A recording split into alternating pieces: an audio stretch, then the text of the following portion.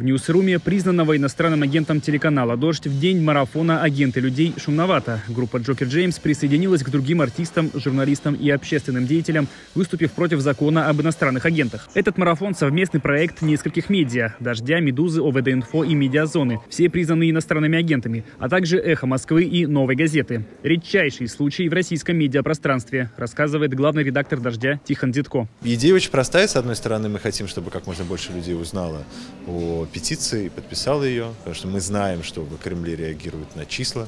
А, с другой стороны, мы хотим, чтобы как можно больше людей узнало вообще об этой проблеме, что большое количество людей ни сном, ни духом, что, что есть такая история под названием «Закон об иностранных агентах», который может быть э, применен к, ко всем. Кроме этого, призываем зрителей э, донатить, э, перечислять пожертвования всем тем, кто был признан иностранным агентом. Поэтому здесь много, много задач, мне кажется, они все так или иначе выполняются. Петицию против закона об иностранных агентах, созданную правозащитным проектом ОВД-Инфо, подписали более 170 тысяч человек. О ней в течение всего более чем шестичасового прямого эфира регулярно напоминали ведущие марафона «Агенты людей». В петиции ее авторы называют законодательство об иноагентах откровенно дискриминационным и неправовым и расценивают как акт государственного давления на СМИ и общественные организации. Телеканал «Дождь» в статусе иноагента полтора месяца. На прошлой неделе иноагентом физическим лицом признали журналиста «Дождя» Даниила Сотникова. Ситникова. Всего иноагентами за время действия закона российские власти объявили больше 200 организаций и частных лиц. Проблема ведь заключается в том, что мы к а, признанию тех или иных людей или организаций иностранными агентами относимся уже как к обыденности, как к чему-то привычному, что ненормально.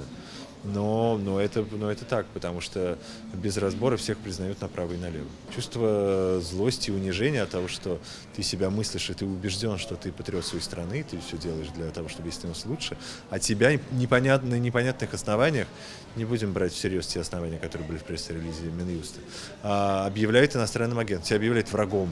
В эфире «Дождя» об этом говорили, к примеру, журналисты Леонид Парфенов, Владимир Познер, Алексей Венедиктов и Василий Уткин, поэт Дмитрий Быков, телеведущая Татьяна Лазарева и музыкант Андрей Макаревич. На марафоне, в числе прочих, выступили Борис Гребенщиков, Юрий Шевчук, Владимир Котлеров из группы «Порнофильмы» и Антон Севидов, «Теслобой». Это репрессивный закон. Это попытка э, ну, заткнуть рты э, людям, которые высказывают мысли неугодные кому-то. Власть же хочет, э, как это по известному определению, править как Сталин, а жить как Абрамович. Нет там никаких идеалов, нет никакой идеологии. Это понятно. Это просто использование каких-то, да, стереотипов, ситуативное. Хорошая вещь. Закон об иностранных агентах. Под него можно подвести любого критика. Проблема только в том, что когда не остается критиков, система скоро начинает тормозить потом останавливается.